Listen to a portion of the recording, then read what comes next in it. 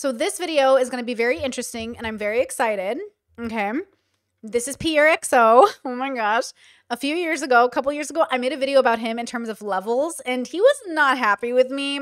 He did a whole live stream basically being very upset with me, which is so fair. Human's gonna human. I absolutely understand like who's this girl on the internet rating your introspection.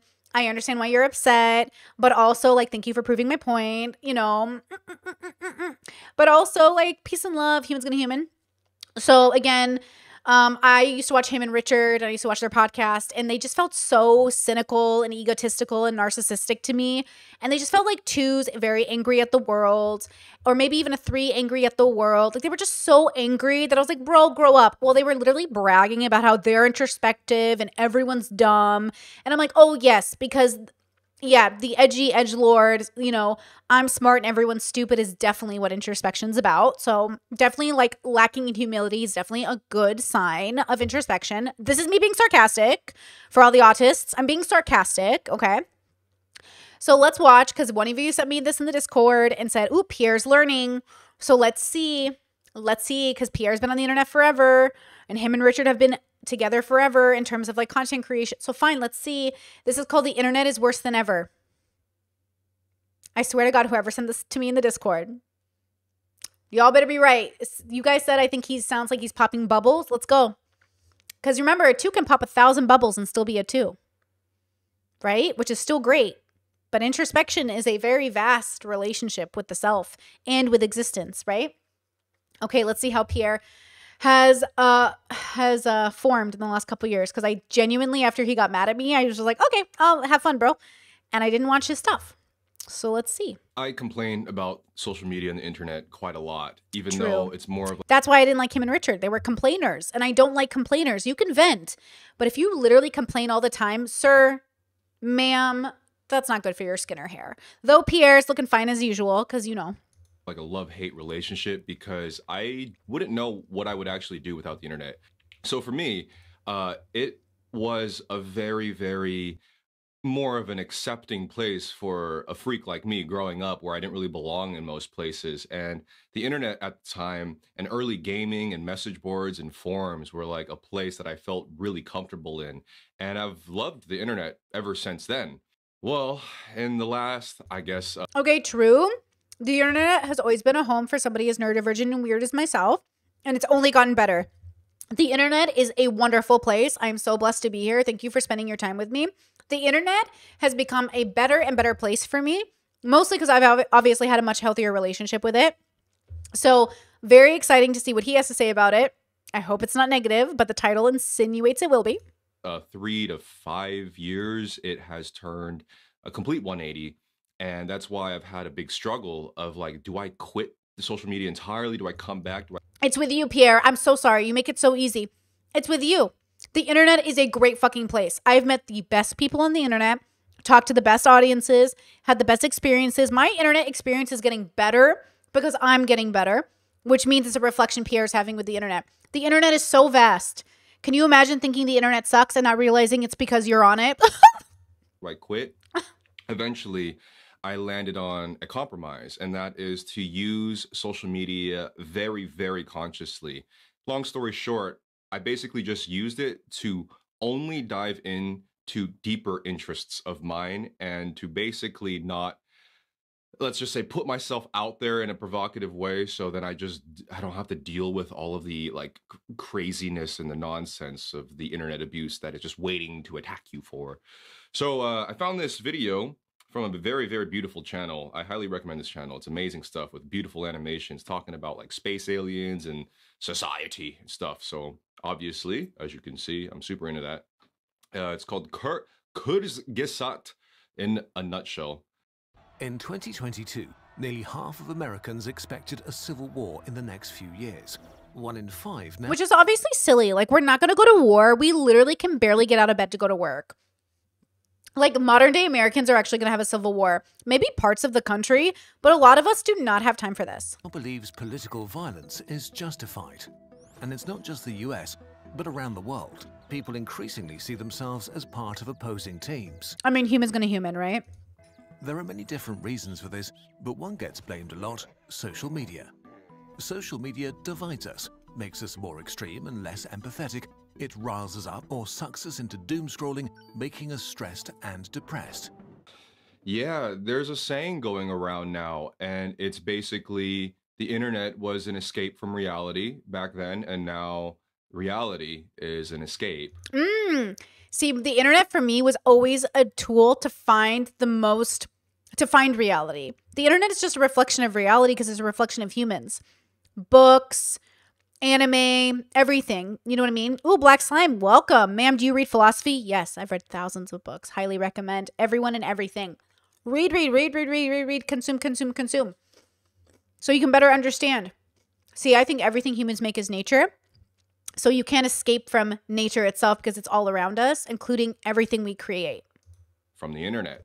And basically, what uh, the beginning of this clip is basically talking about is something that I think was a direct impact on me being en- entirely sick of being on the internet, being a public figure, and running a platform, but also even enjoying social media because the internet that I grew up with for most of my life has always been a zone where people with really niche uh, special interests, whether that even be like music to video games and stuff, to talk and and to share those specific interests with each other. And if there were arguments, it was never about like a person's character.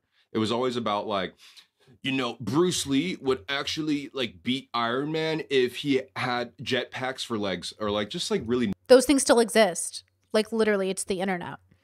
Every there's no like guys, people who are like the internet used to be better are like the people who are like America used to be better. If you think the internet used to be better, you might as well wear a Trump hat. Make America great again, make the internet great again. Like there is no time in history in which like things are always better in the past. There's only moving forward, right? Like going back to the past is going back to the illusion of the experience you had in your own individual consciousness. It has nothing to do with the reality of everyone else having it. There are always going to be people who are like the internet was better this when. The internet was better this one. The internet was better this th- Okay, sir, like if the internet can be the same if not better now, you just got to find it. That's why I say everything's about you. The problem you have with the world is a problem you have with yourself, right? You're if you have a problem with someone or something right it's a problem you're having with yourself because you're look at me with my potato chip very wise brittany very wise but okay you're either upset you can't change it upset it's not the same that it used to be or upset that you can't accept it for who it is or what it is nerdy arguments in general. And that's the internet that I want to use it for. If they're going to be arguments, it better be about like nerdy things, not like justifying political violence. um so get off the political violence bubble bro go back into the fun bubbles people act like oh everything has changed everything has changed sir use google and find those bubbles again sir That's annoying, really terrible. And that's definitely, I still refuse any engagement with anything political or, or I guess uh, anything that involves social controversy to a certain degree. Stay away from it completely. It's all, you know, gaming, VR, boxing, music related stuff, and the list goes on. But in terms of this type of thing, I'm, I'm, I'm over it. I'm completely over it. You've probably heard about online filter bubbles. Algorithms give you exactly what you want or what they think you want. ooh bubbles You only see information that shows you opinions that agree with yours, while dissenting opinions or information are filtered out. Since you only see content close to your worldview, more extreme and toxic opinions suddenly seem That's just because you guys don't know how to use search engines, bro. You guys don't know how to use the internet. You're boomers. Guys, I'm a boomer and I know how to get information that's different from the information I consume. Like, I do that all the time by asking you guys opinions or going on Google and figuring it out or like literally asking my partner. But like, there are ways to do it. You can also use a VPN and go to different country servers and like use those. You know what I'm saying? less extreme. You're trapped in a radicalizing filter bubble, and your view of the world becomes narrower hmm, But the bubble exists everywhere. See how they reference the internet bubble? The bubble's also in your own worldview, right? and more extreme. But is that true? There's nothing enlightened about having the opinion that the internet is like a place that reinforces your beliefs. That's everywhere. Go somewhere, go to a cafe, go to a group, go. Everyone's reinforcing their beliefs. Everyone's always making a prescription. Extreme filter bubbles seem to be rather rare. Studies that investigated what people actually look at online or are shown by search engines found little evidence that you're ideologically isolated. It's the exact opposite.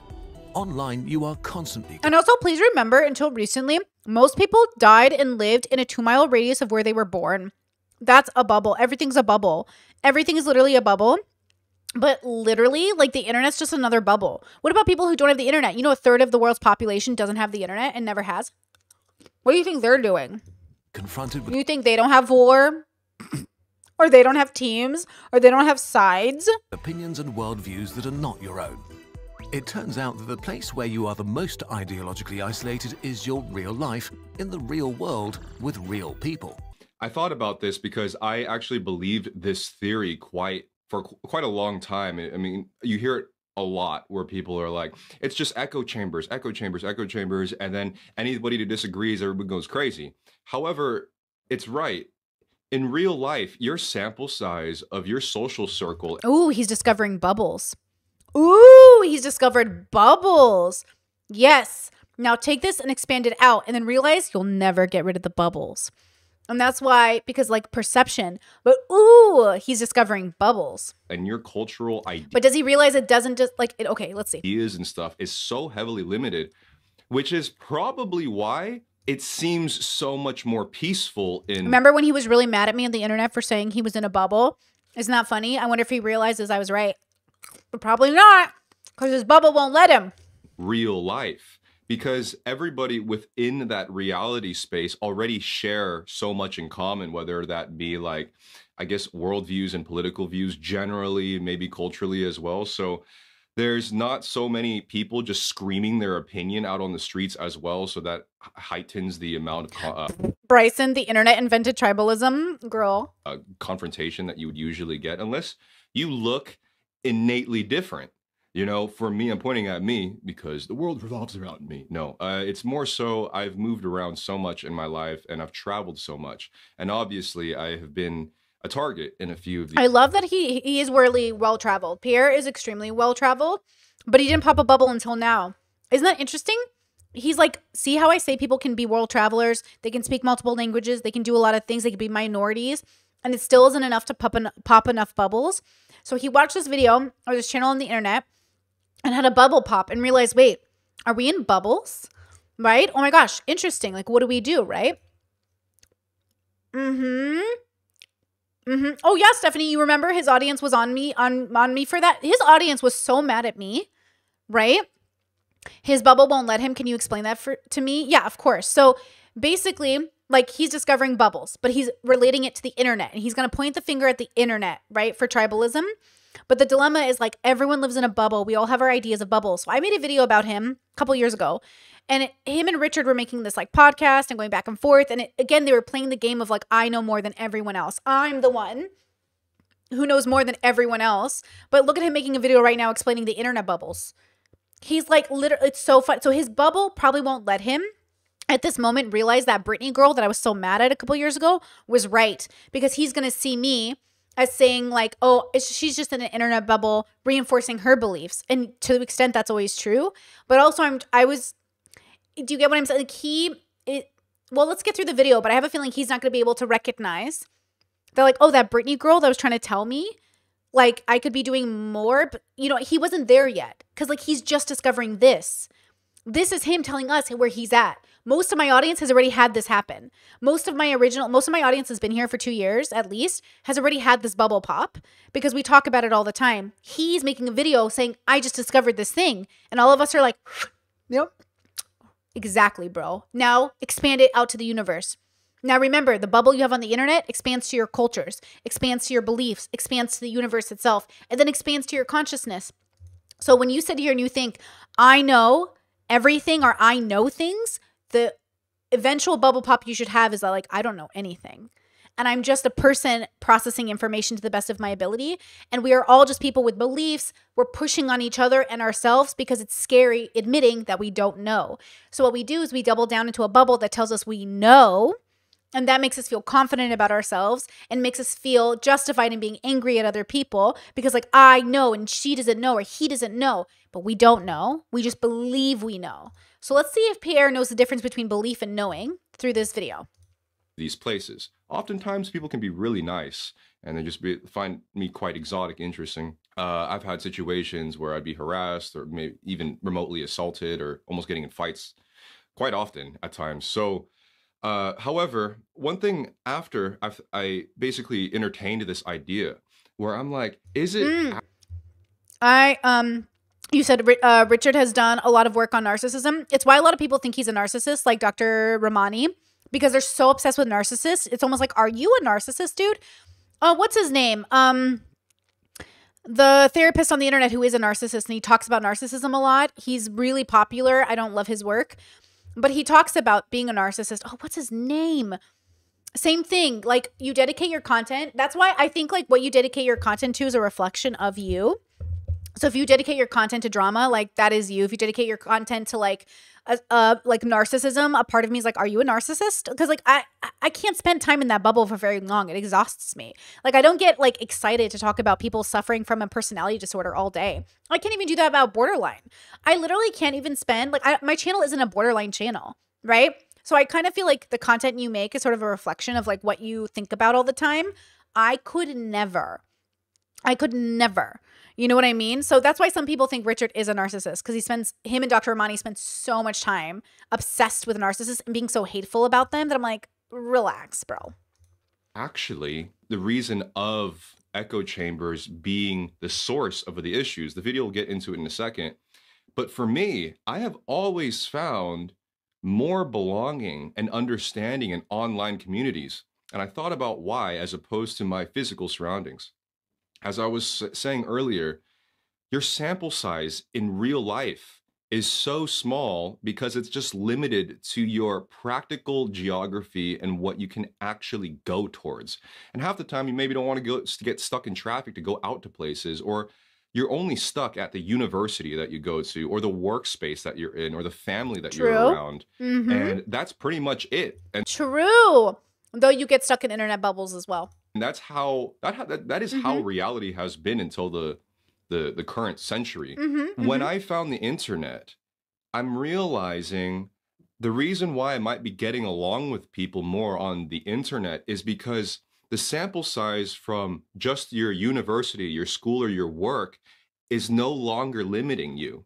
It's like the entire world, anybody from the entire world, if they're interested in Pokemon, they can all find each other from Africa. True. To Australia. To- that's why I like, that's what it, we're using this channel for, right? Is like, I like talking about these things. How do I find people that also like talking about these things?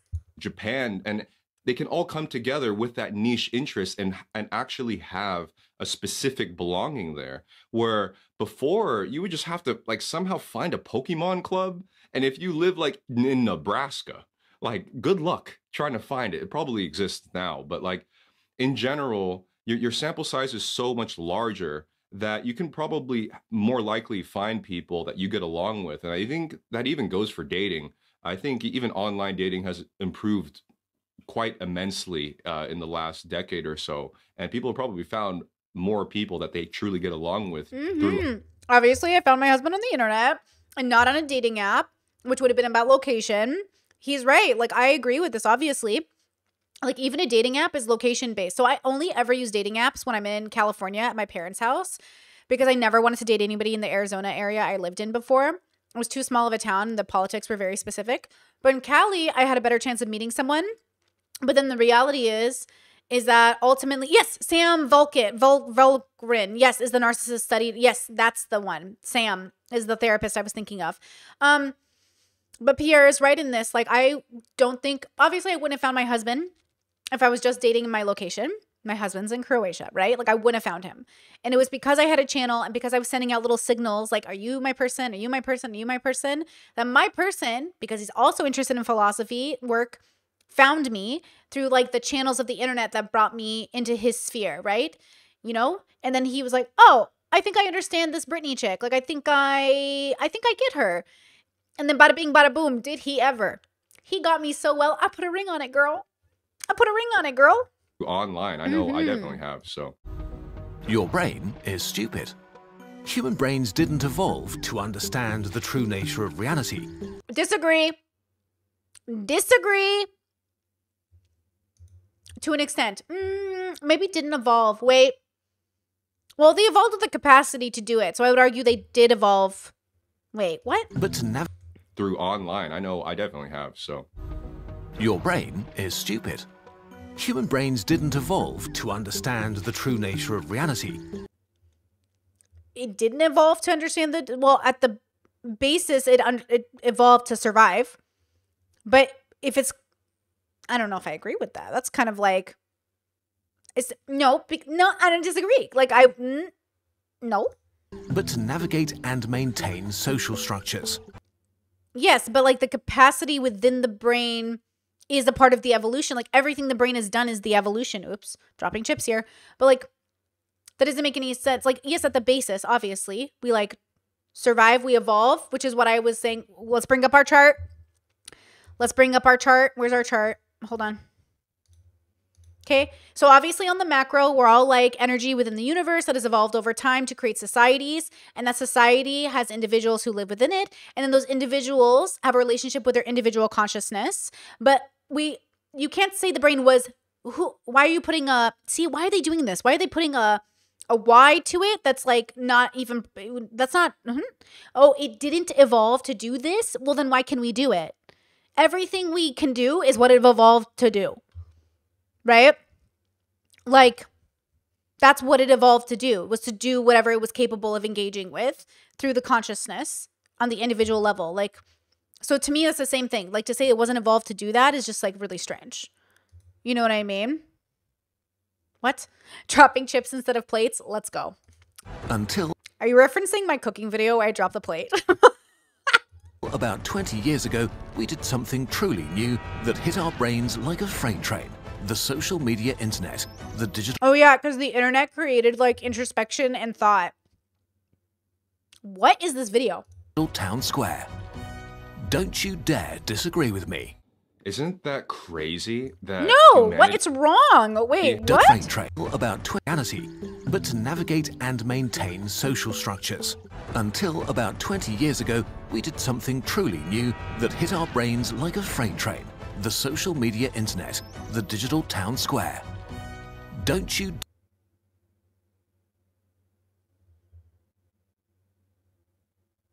What?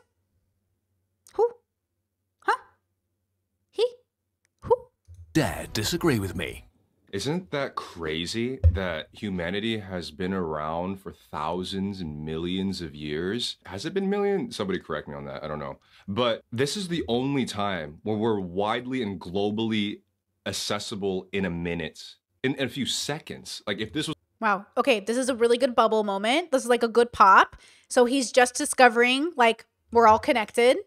This beautiful, bro. It was a live stream, you would literally hear exactly what I'm saying, and you can be in Zimbabwe and know and hear exactly that. Like that's never happened in the history of humanity. No wonder why we're having mental issues and trouble socializing and connecting. I guess we, we got to be patient with ourselves as individuals, but as a collective for trying to juggle this massive shift in our social circles and how we communicate because it's only happened in the last 20 years in this situation. Well, okay. Okay. Okay. This is a good okay. I know we're like I know the chat's like, oh my God. Like, yes, okay. Good pop.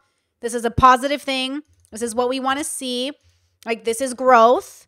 This is true. And I do think like this is hard for people to recognize. Though a lot of obviously like a lot of us maybe grew up in a family that knew that or recognized it or something like that. This is like his opportunity, which is really great. I truly do believe that one day we will actually learn how to view ourselves collectively and work with our differences and all of those things. But we're still stumbling around right now. It's like a toddler is learning how to walk and play on the playground together because this is a new playground that is has, has only been around for for such a short of amount a short amount of time really i get it you know we're still very very tribal and generally almost everybody would rather prefer to be in their own interest bubbles of shared things commonalities i hope at least that one day one day we will be so accepting of each other no matter what we believe That feels a little racist. It feels a little feels a little racist. Um uh yeah, that's a nice thought, right? That's the thought of like, well, but like no, because people will create new babies and those new babies will need to go on journeys. and those new babies will feel like they have they we can't deny people the journey of being a person unless we stop having babies and then we like die off eventually. But as long as we have new babies they will go through new journey journeys and they will do the cycle all over again right? Of not getting along and creating conflict and all that stuff very important. Social sorting. In a nutshell our brains are not able to process the amount of disagreement we encounter on the social internet. The very mechanisms that made it possible for our ancestors to work together in the first place are derailed in ways we were not prepared for for your brain, the disagreement between yourself and them becomes a central part of their identity. And this makes it less likely that you will. Mm, yes, Halians. Yes, Halians. Um, I don't. Uh, you said he just uh, he just took it as truth and was like, "Isn't that a crazy fact?" Well, because it's blowing his bubble right now, right? It's popping his bubble. And you said, um, wait, I don't know if you, I'm missing a first part of your comment, but this part of your comment that says will always be tribal uh, we can be more accepting that other tribes exist, but we will still want our group. I think that's the biggest truth. I think that is the most truth. I think the most truth is probably going to be that even if we can accept other people are different, we'll still need to separate. Otherwise, we'll create conflict. Excuse me. So I think ultimately we will need to like be in our own bubbles, which is great. We all live in bubbles. But we'll need to we'll need to accept that we can't actually all be the same or truly understand each other, right? We're not going to truly feel like we can trust everybody, right? Because everyone's still going to understand in their own way. And again, we're all going to have babies. And those babies have to go through their own journey of distrusting people and not liking certain people because of the way they are, and all of those journeys as well, right? Will seriously consider their position or opinion in the future. If you hear bad things about them, your brain is much more likely to believe it uncritically. On the flip side, there are people who share your worldview and are maybe even more similar to you than many people in your real life, which makes your brain like them a lot and kind of hyper-align with them. The engagement-driven social internet makes it worse because it wants to keep you online as long as possible. And the most engaging emotion is, unfortunately, anger. if we Hello, Kev. Welcome to the memberships. Thank you for being here. I appreciate it so, so, so, so much. Think our neighbors are evil. How can we live together? Ooh, this is a really good conversation around two bubbles, right?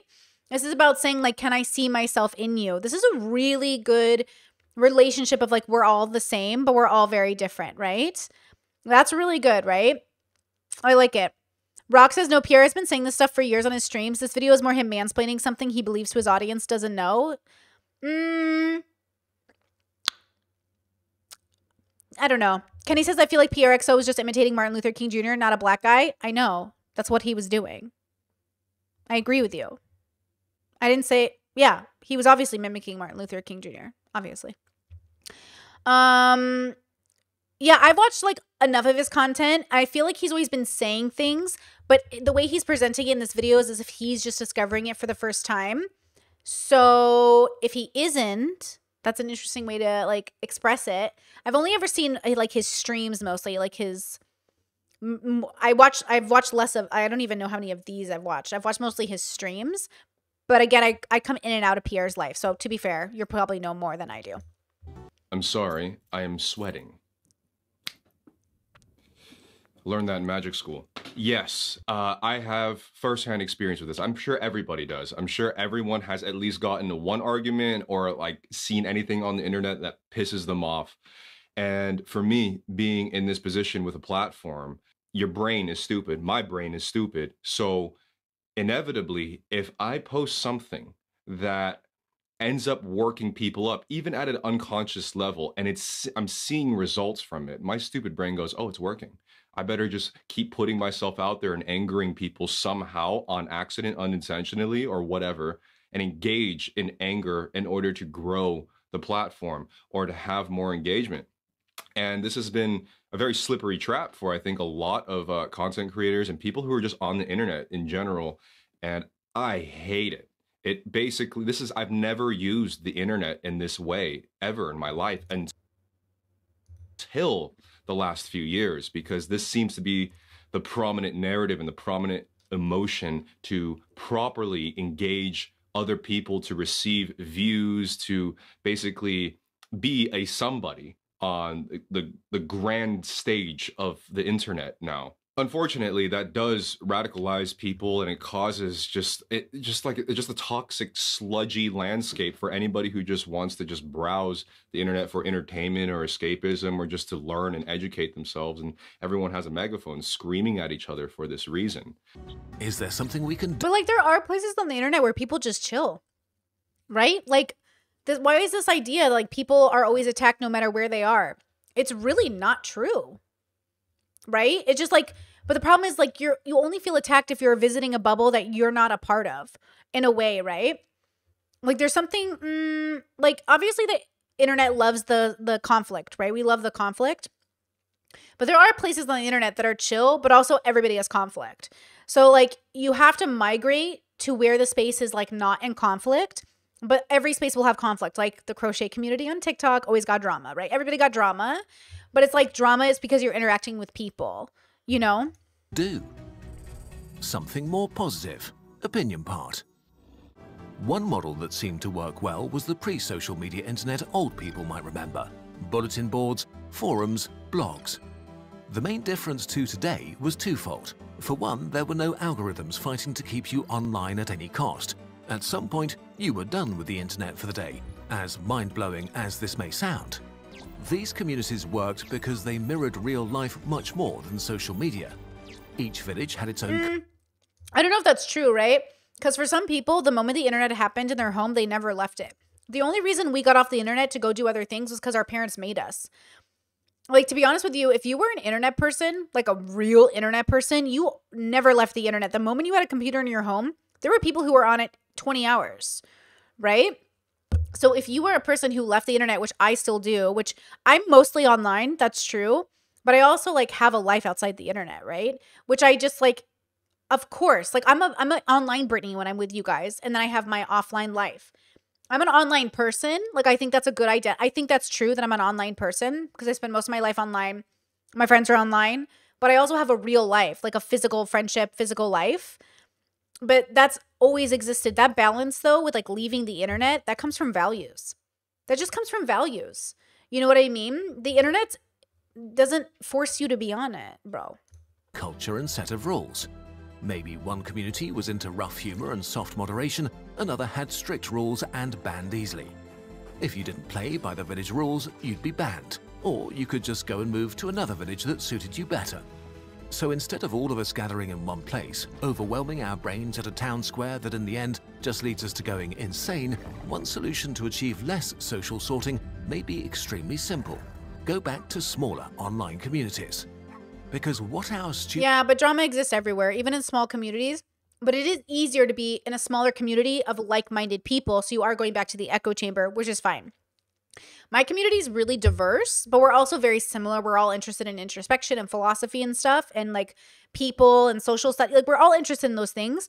But even even my community has had drama, guys. You think the Discord hasn't had drama? You all know. You all know there's been drama. And this because no matter how small the community, people are gonna people. Humans are gonna human. Like we're just gonna human. It's just what it is. stupid brains don't realize is that we are actually all on the same team.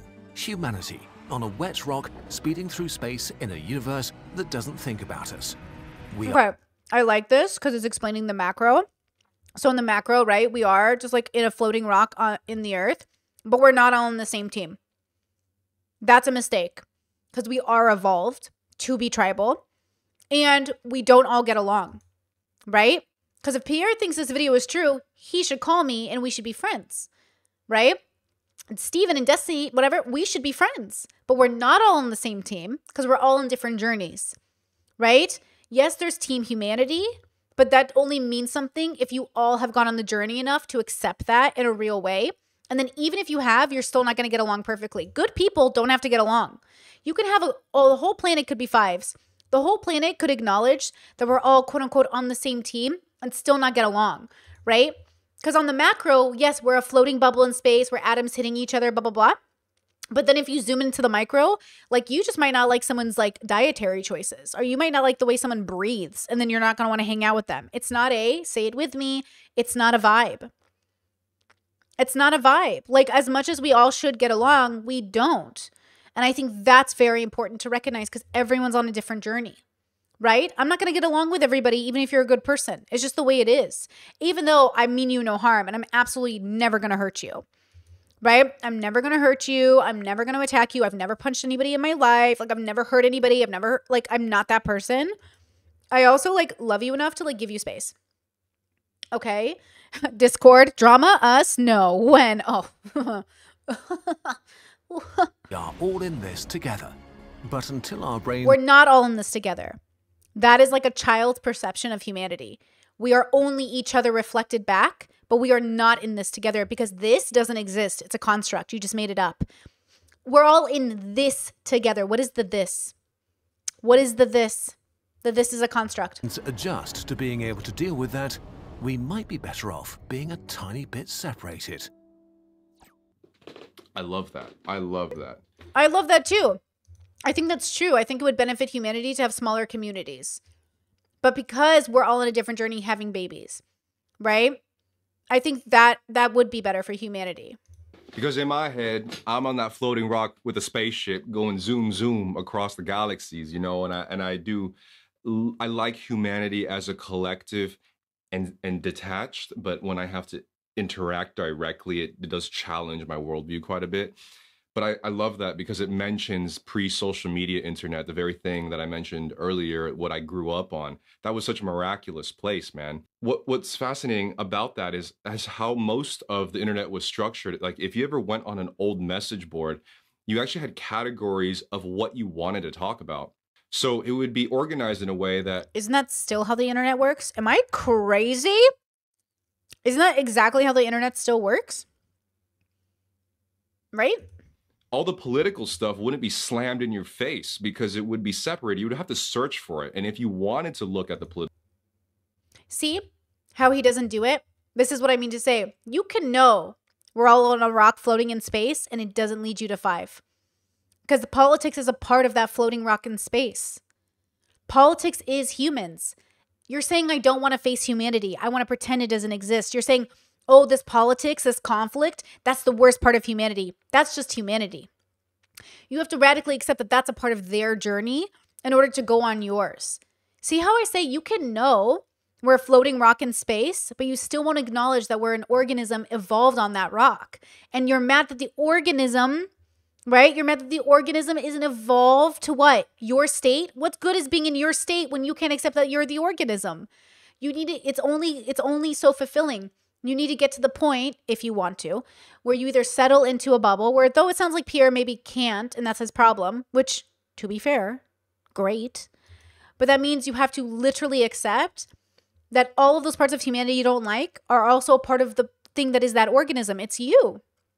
You're doing it right now. You're picking a team. You were saying, I hate the politics. I want to be on the side that doesn't do politics. Oh, so you just picked the side. Very good political stuff and piss yourself off, you go there. The Instagram, the YouTube, all of the platforms now, that categorization is not there really because even you you will find mm, okay. Brit saying i think he's saying algorithms didn't feed you as much stuff. You had to seek those things out but your communities did. The internet is just a reflection of humanity. If you grew up in a bubble your tv your movies, your newspapers, your billboards, they moved. That's the algorithm outside the internet. The algorithms always existed because we have marketing. Marketing is algorithm. Like you can like take the internet and remember the internet is just a new way to have newspapers. It's just a new way to have billboards. It's just a new way to advertise. Like the internet isn't different from any other hu- like I grew up without the internet and then I had internet. Life didn't change. The only thing that changed was like Pierre said, the capabilities of interacting with you guys, and that's great.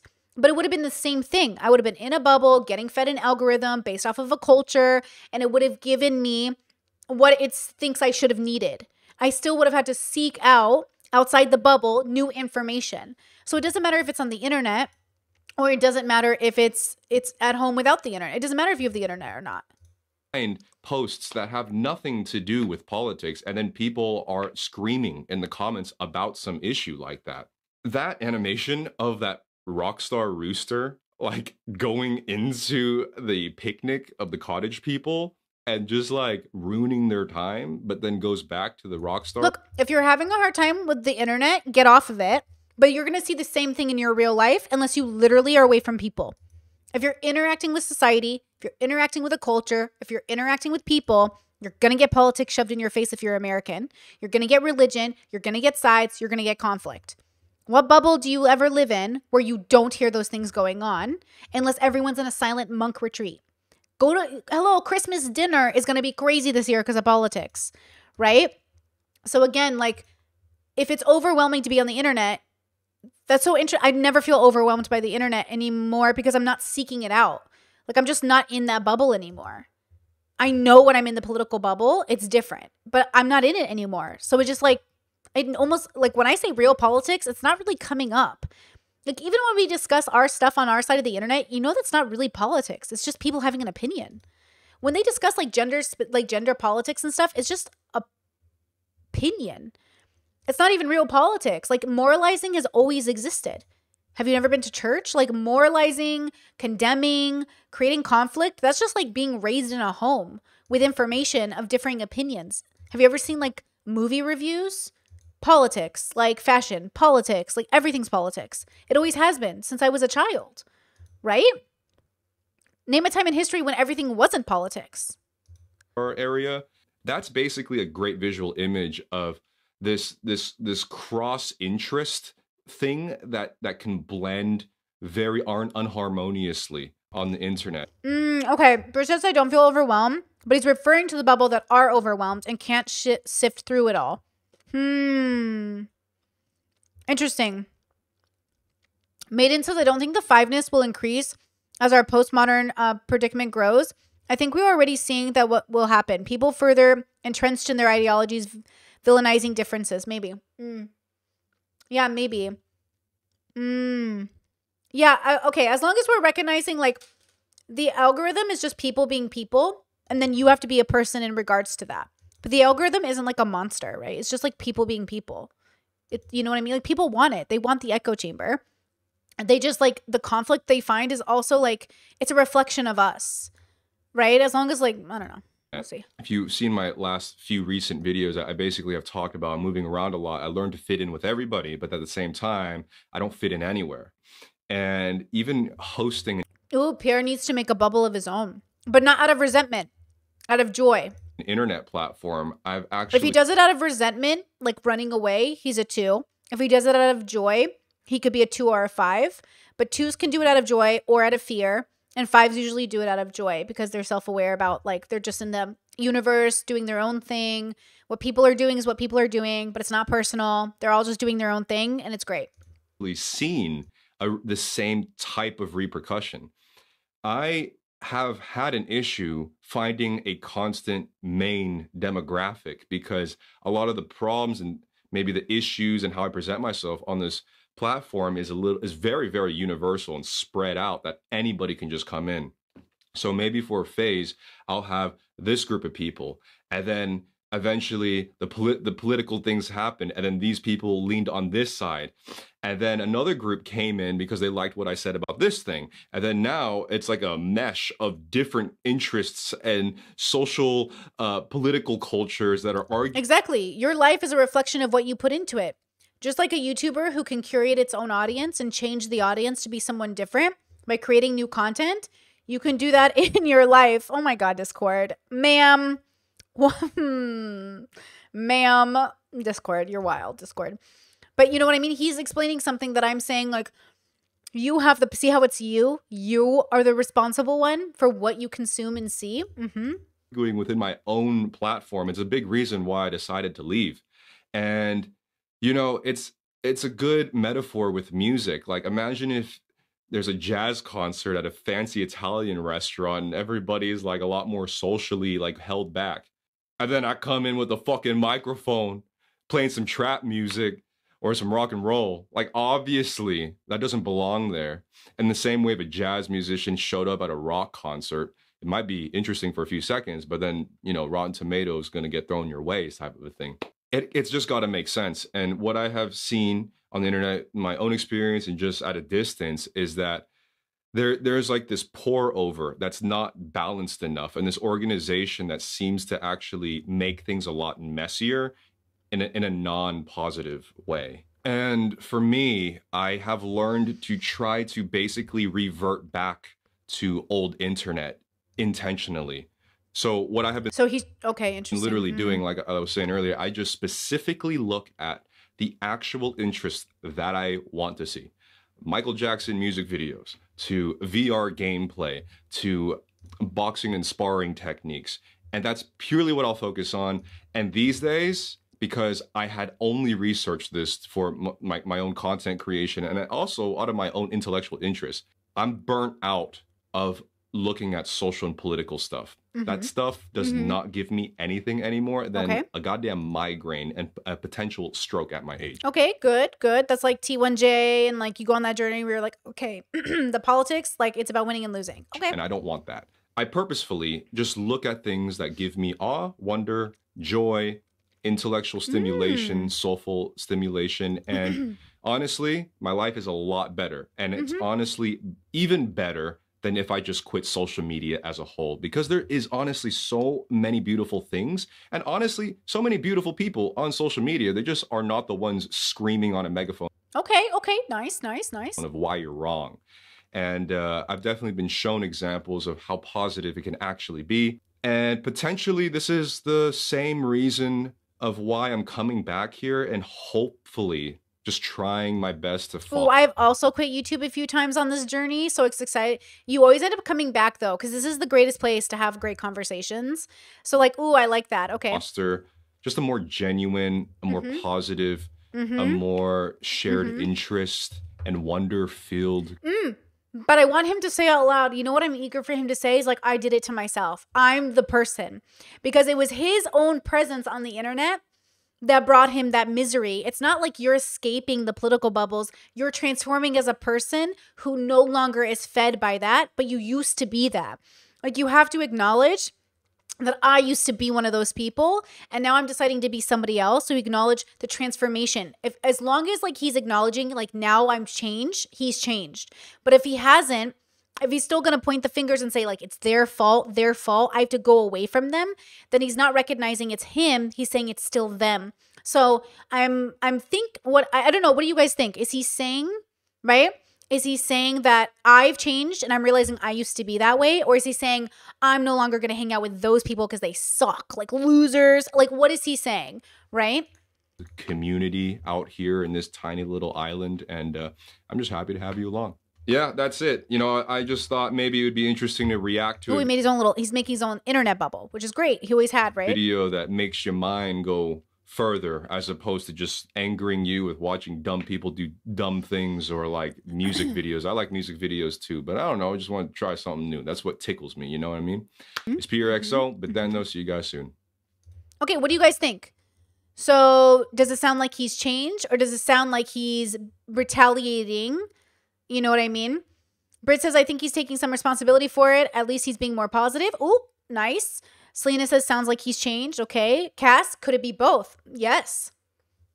It could be a little bit of both. I definitely see some growth, which is good. Mm hmm. Mm, good point, JJ. Sounds like he's taking control of his environment and looking for joy much healthier feeling pierre. I agree. I agree. I wonder if he would talk with you. Um maybe. I mean i'd love to talk to him if he wanted to but he was pretty mad at me a couple years ago. So i don't think i don't i don't know if he's ready for that conversation. Um but maybe like maybe he'll have it with me eventually. Um but that's what i'm waiting to see. So let me see this.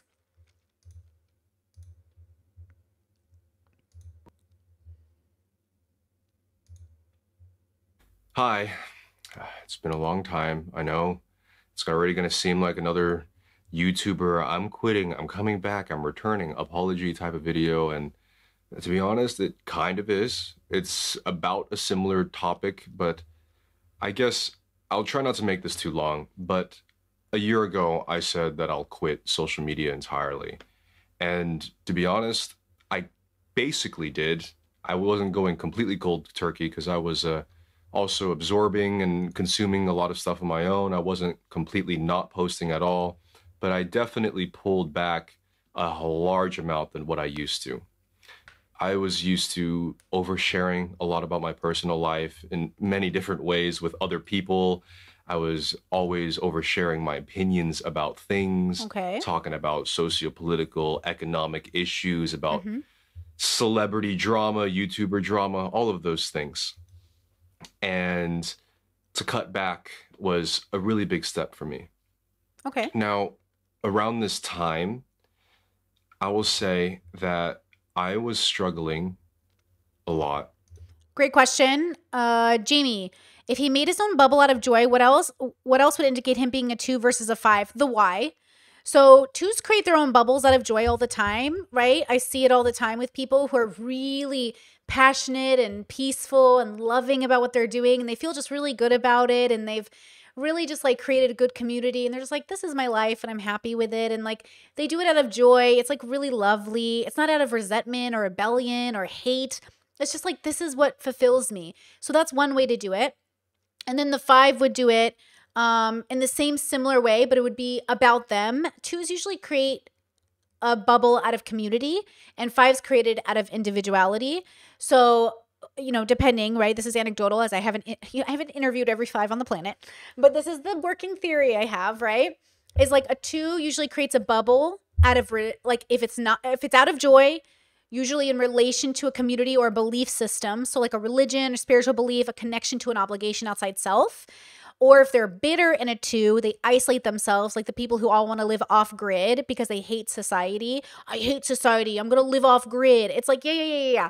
So that's like less out of joy and more out of resentment that they couldn't find a place within society. So they usually isolate outside of it. So those are the two categories of two who make their own bubbles, one out of joy and one not out of joy. And then if you do um, your own bubble as a five, what I found is like out of joy, it's because of the consciousness that you are.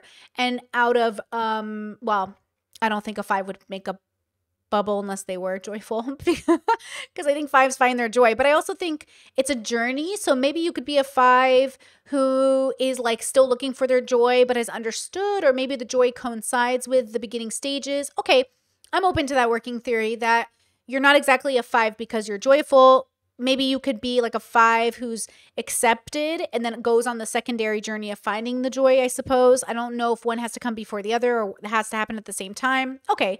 So I could see a five creating a bubble out of like ex- like on the journey to their joy. But I think when you're creating a bubble, you're creating it usually because you've gone through the introspection journey of knowing the self. So it's kind of assumed that you would be creating that bubble out of joy.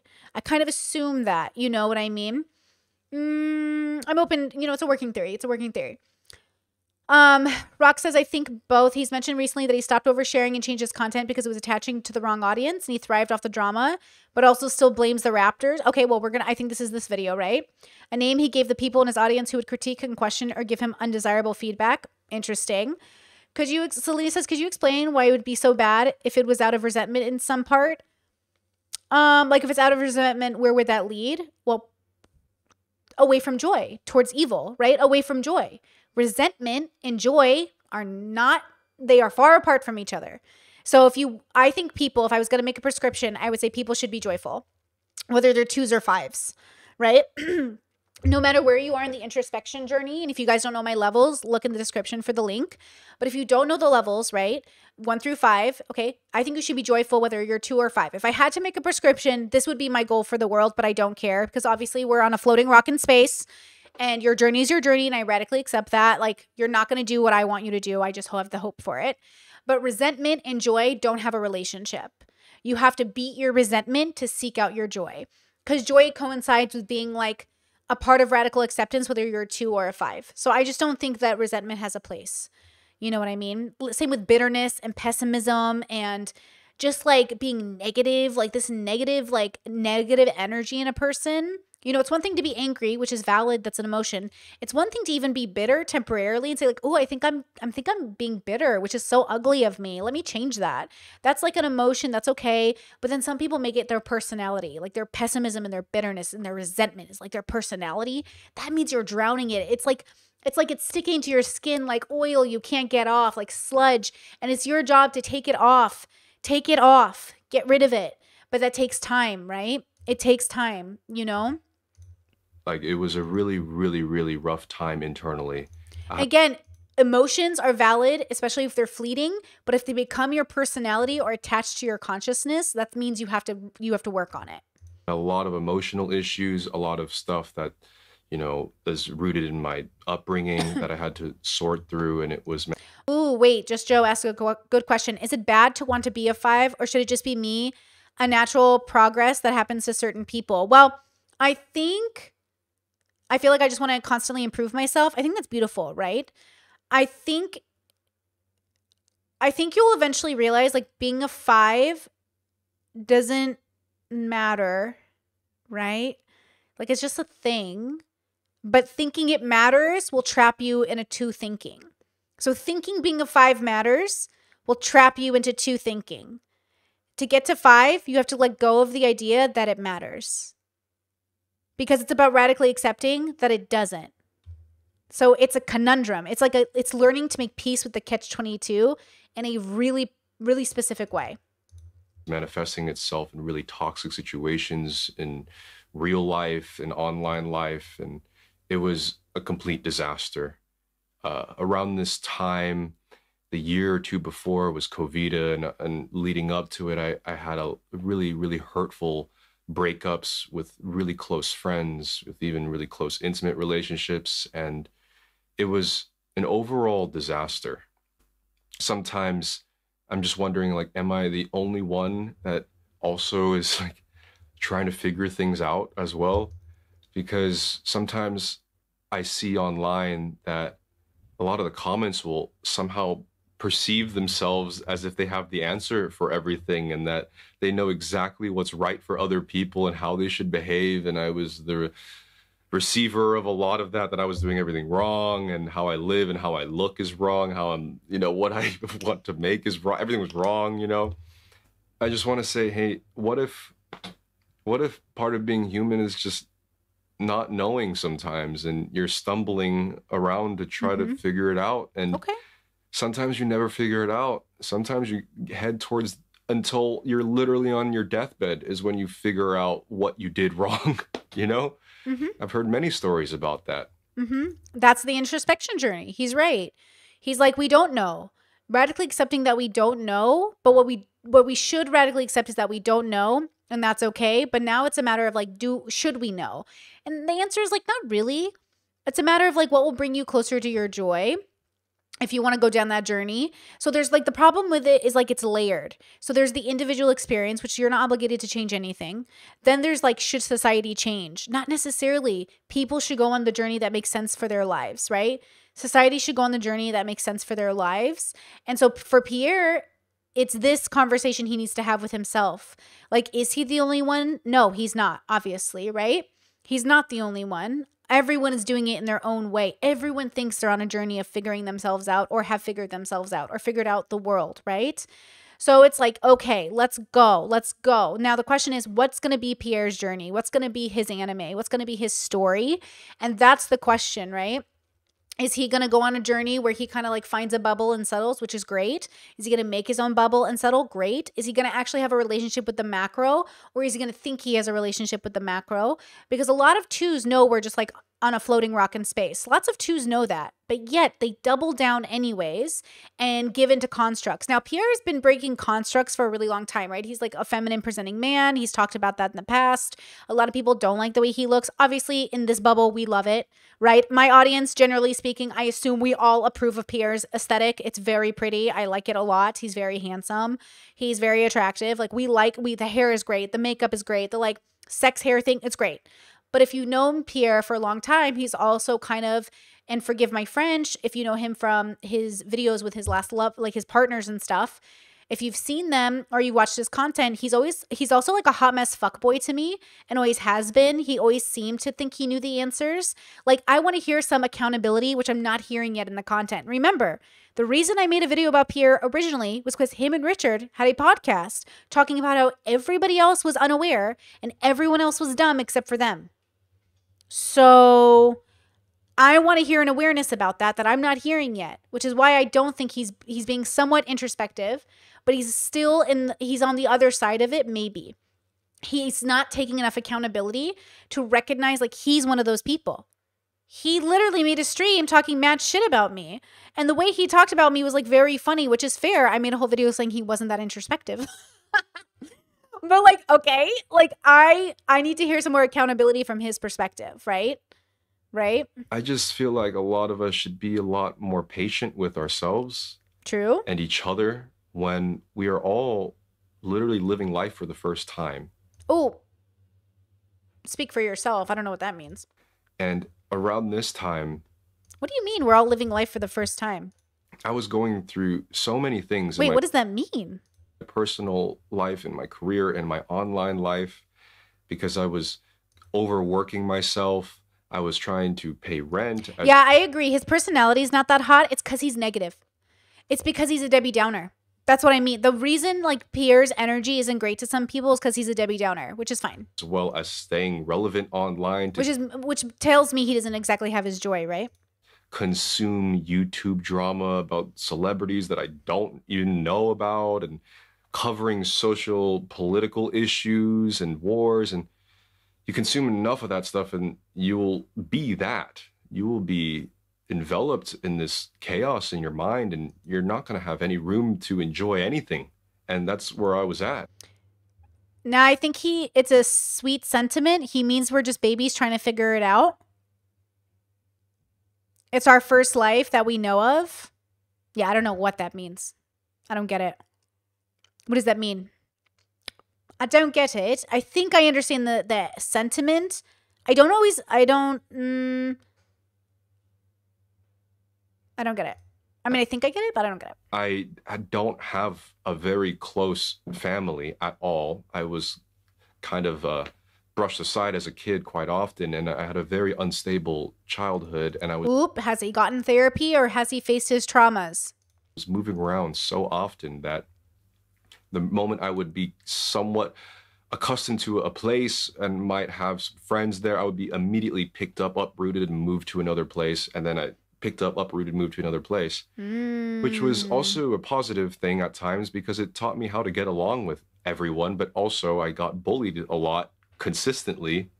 Simultaneously, I was also fortunately around every type of culture. I was around See, all these bubbles. He was bubble hopping all of these bubbles. But did he recognize that and examine it? Or did he just like focus on the fact that he was being bullied or abandoned or whatever else, his trauma? The question is, does he know he still has to work on his trauma? Because if you haven't worked on your trauma and you think like, oh, we're just like in a floating rock in space, you're probably just a two who's having a nihilistic like relationship with reality, but not a four nihilist on my levels, right? So again, there's like the actual nihilism, and then there's like the performative nihilism of like, oh my God, like, uh, is he just discovering, like, I can't figure out yet, is he just discovering, like, oh my God, I'm a person and I have things I have to work on? Or is he acknowledging, like, the world's been mean to me? Ooh, like we just talked to Smith, we just did a collab with Smith. Is he just figuring out, right? Or is he, you know what I mean? I think he's just figuring out. Like Smith said, when you like realize, like, oh, I think my childhood was bad, it's like, is he just figuring out, like, he has to work on his trauma? You know what I mean? Um, Terry Mom says, "How do you face traumas? I hear that a lot, but I find I can't find an exa- uh, an example of a practical step. Well, the practical step is so individualistic, right? But the practical step is first acknowledging that you might have trauma, which we you know you could possibly have, and then you would recognize the why you're even asking that question in the first place and the why of the trauma and then you would seek professional help if that's your tool or maybe spiritual help if that's your tool i recommend professional mental health and I recommend examining why it's there in the first place. And facing your trauma is about examining it and giving it a place to rest. It's saying that I need to face this thing that is a, a, a burden I am carrying. I'm putting it where it belongs so I no longer have to carry it to the capacity I have been. So, what I do with my visual practices is after I went to therapy, I like took all my traumas and I put them in individual jars and I put them on a bookshelf. So the bookshelf is still in my house, which is my consciousness, like my mind. This is a visual practice, okay? This is a visual practice. And I say, okay, Brittany, like your PTSD and your borderline and all that stuff, that's in a jar on a shelf. And it doesn't need to be open 24 7 like it used to. I used to have them just like free flowing. And then now I put them in a jar and I put them on the shelf. And then when they're sort of like, sometimes they fall off the shelf and break and I have to put them back in. And that would be like um, a, an, an, an, um, like a metaphor for it, like, you know, being triggered or something. The idea is like when you face your traumas, you're facing yourself You're saying, what is this thing that is me?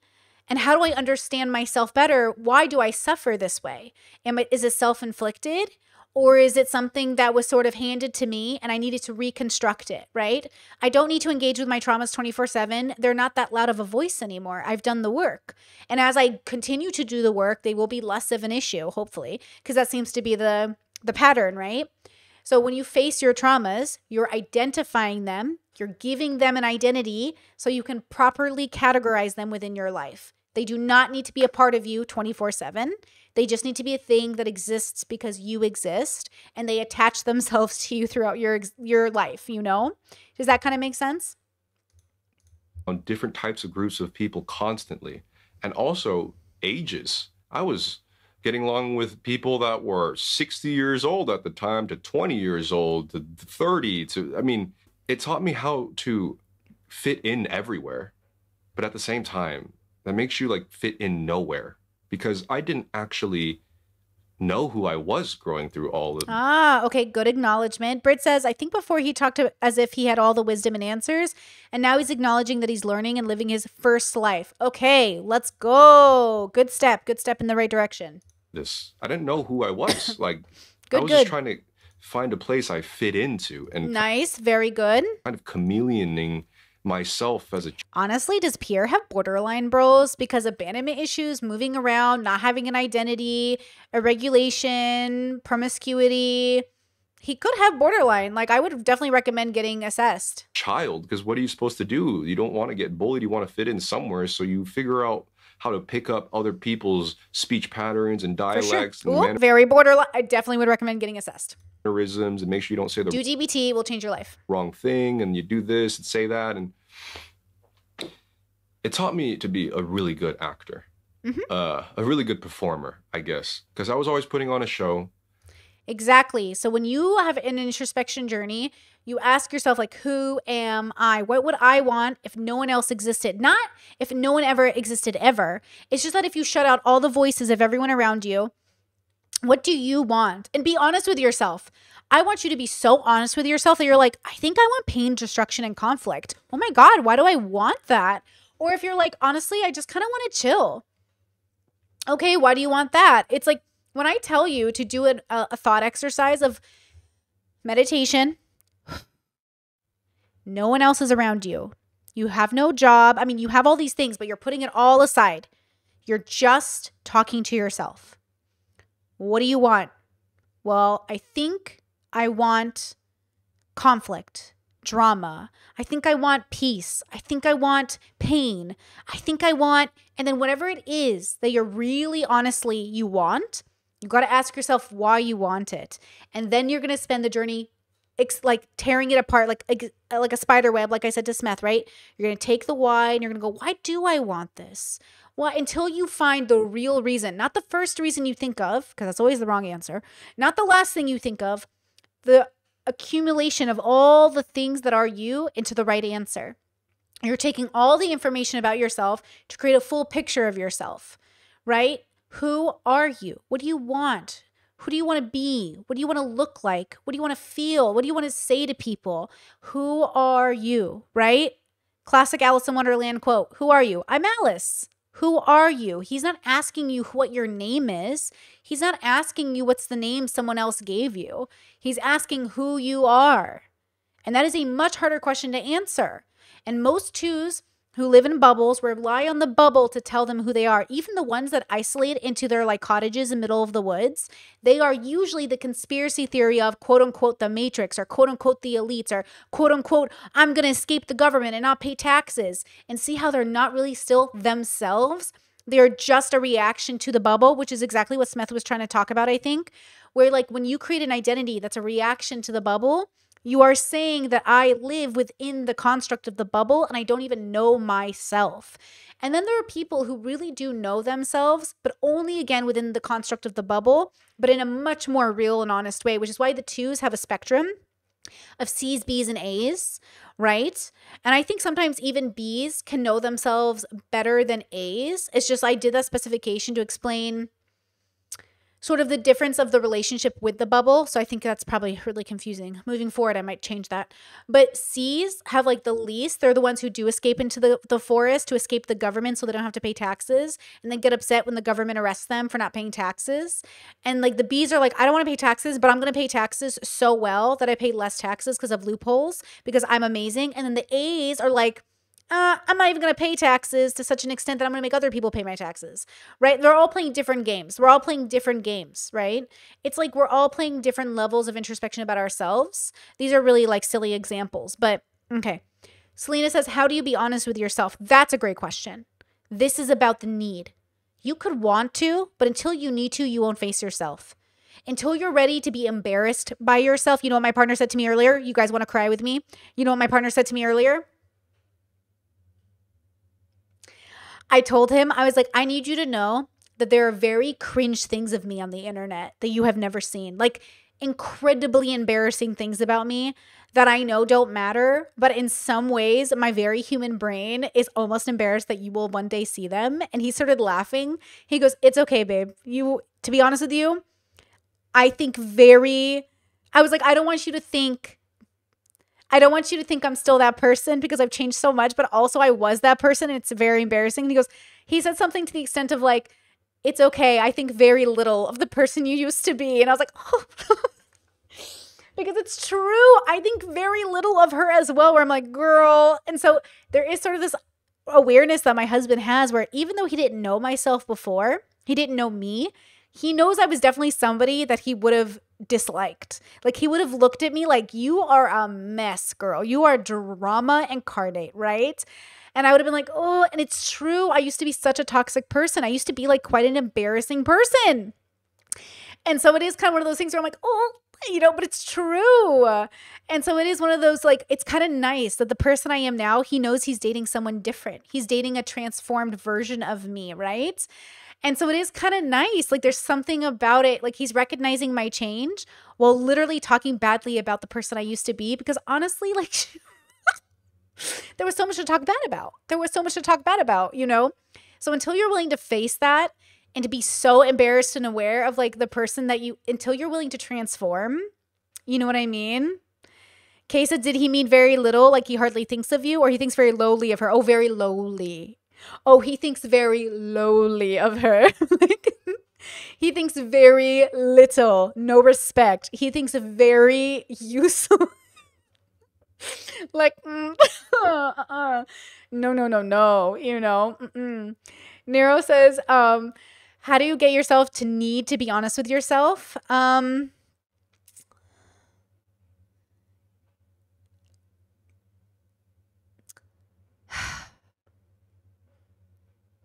okay, have you ever like not eaten and you're like, I don't need to eat, you know, and then you don't eat and you don't eat and don't eat and you choose not to eat and you choose not to eat and you choose not to, eat, and then it gets to a point where like, okay, I need to eat now. Like I need to eat now. I need to eat now. Okay. And then you eat. Eugenia Cooney never has that. Eugenia Cooney never has the thing that says, I need to eat now, obviously, right? Not everybody needs or ever gets to the point where they need to eat now. Especially when it comes to introspection and facing yourself, most people never need to do it. Because most people are content and very comfortable in the place they are which is where i disagree with smith that like we have this inherent desire to like be better. I don't think so. I don't know if i believe that. Maybe right? Because like what is better? Like you could be better in a lot of ways and never be still, you know? So when you face yourself, it's like everyone stops at a point. And the question is like, when are you going to stop? I probably will never stop because it's too interesting to me and it's what feeds my curiosity. But you know what I mean? Like needing, I needed to do it or I was going to die and I wasn't ready to die, right? In that way. So again, it's like need, what does need mean, you know? What does need mean? You know? What does need mean? So you have to need it, but also you can need it in any capacity. Look at people who like have a kid and they change their life and get their shit together tomorrow. And other people have a kid and they double down and then they end up killing their kids accidentally because they forget to feed them. Everyone is different. What triggers you or gets you to change or moves you, I think it does have to come from you. People will say, "Oh, my kid made me change." I don't think it was your kid. I think it was you having a relationship with your kid that made you change, right? When people are like, I had a kid and it changed me, I had to change, they still had to do the I. They had to change, right? It's not that the kid made you change, it's that you became a person having a relationship with that kid that made you want to change, need to change to be better, right? That's how I would look at that, you know? Discord says sometimes the trauma is in your body and you can't logic your way out of it. This is called intellectual bypassing. For this kind of trauma, you need you need in the body re- uh, remedies like meditation, yoga, somatic therapy. I agree, definitely. Like I don't know what you guys are talking about in there, but I absolutely agree with that too. Where you can't always logic your way. You remember when I said I triggered myself PTSD because I was so joyful over my relationship? I couldn't logic my way out of that trigger. When I was triggered with the Destiny conversation, I couldn't logic my way through that trigger, even because my body had decided we were in danger. And I was like, fuck, it's happening. Oh my God, this is sucks. Like, I, you know, I know I'm not over it. I know I'm still working on it versus the, borderline it's so much further from me. Like splitting episodes and stuff they're so much further from me. Like i haven't had one in so long but ptsd still feels raw.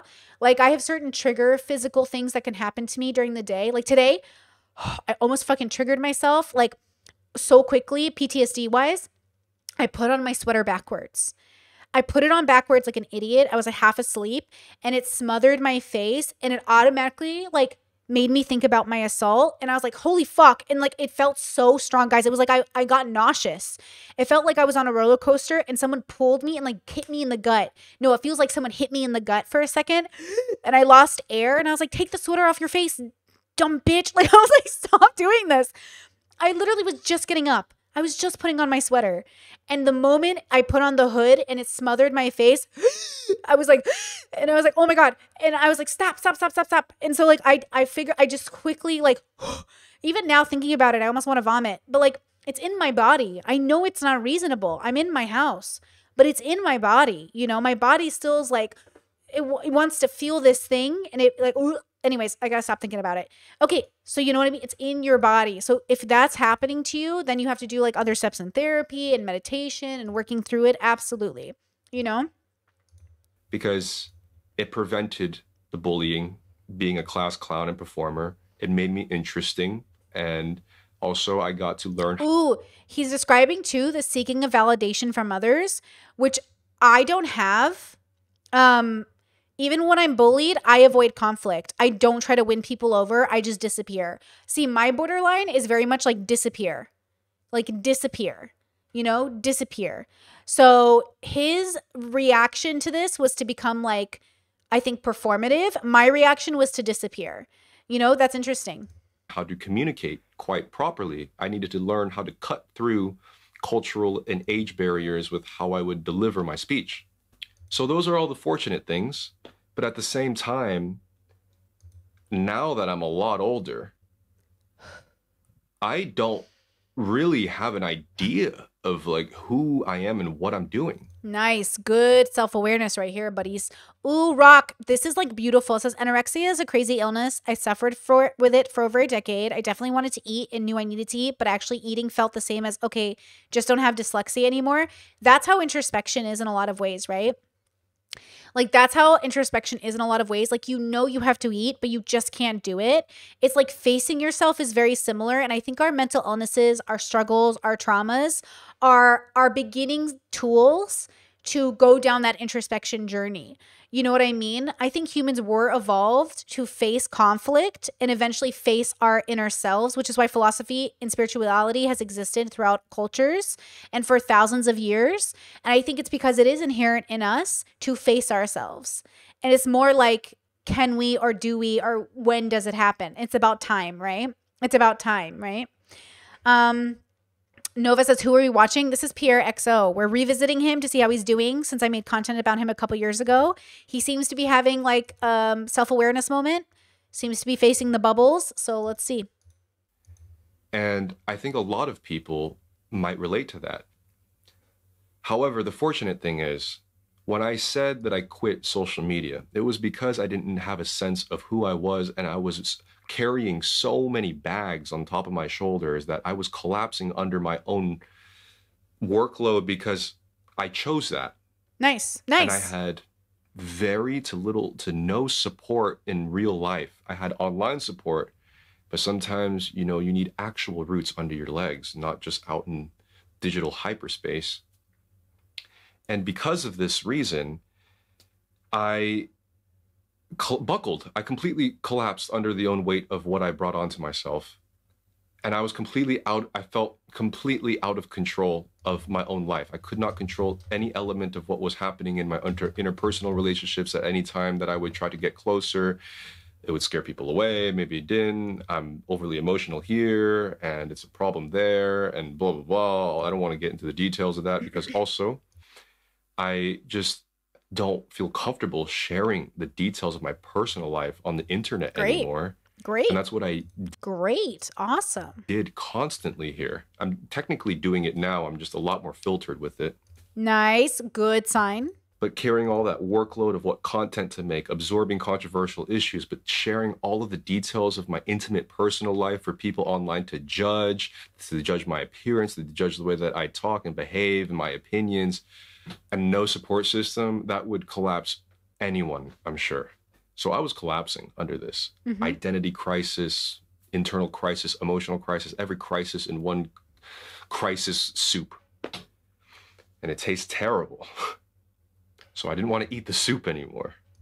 FYI, I'm a little crunched on time to stay on my sleep schedule, so I'm gonna 1.5 him. Thank you. So out of all of that happening, the only thing that I could reasonably do in the rational brain that I had left was, all right, dropping it all, I quit. It's done. I've done this a hundred times. By the way, I've quit YouTube so many times and come back. Best thing I ever did was come back. Obviously, I'm like thriving, but I always needed a break, and now I think I'll never need that break again. But I did need a lot of them. I guess this is the only thing I can do now. Because at that moment, the only tangible thing that I felt like I had control of was me saying that I quit. I couldn't say I'm going to succeed more right now because I'm going to have really healthy, stable interpersonal relationships. I'm going to reconnect with family and friends, and that's going to work out now because I tried that. Yo, okay, again, not to like put borderline on him, but I will say like that for me, it was my borderline too.